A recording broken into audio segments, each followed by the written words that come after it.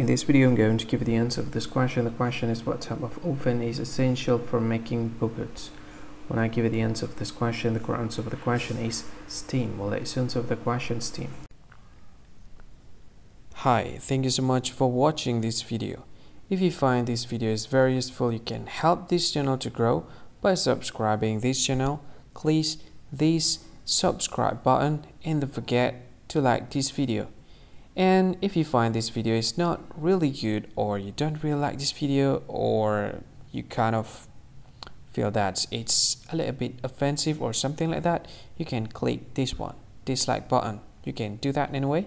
And if you want to share this video with your friend, you can share it by clicking this share button and you can share it to any any social media that you wish that is currently available at this time like Facebook, Twitter, LinkedIn, and many others. Right?